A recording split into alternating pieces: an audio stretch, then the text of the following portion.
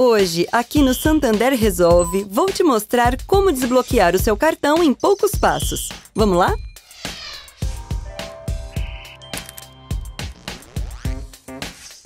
Agora que você já recebeu o seu cartão, para desbloqueá-lo é muito simples.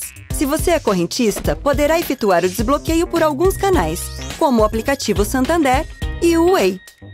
Agora, se você possui somente o cartão de crédito, você poderá efetuar esse desbloqueio pelo aplicativo Way.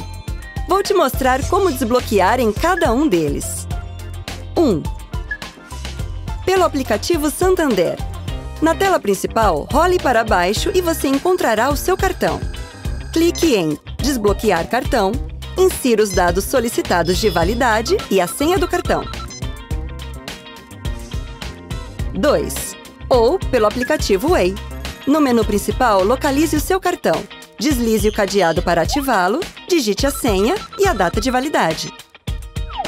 Pronto! Agora o seu cartão já está desbloqueado e pronto para uso. O aplicativo Way facilita a gestão das suas compras de forma online. Além disso, você também pode realizar recarga de celular, gerenciar os seus limites, acessar as ofertas, entre outras coisas. Caso você precise de ajuda com relação à sua senha, acesse o Gente. É isso. Espero ter ajudado. O que a gente pode fazer para atender você melhor hoje?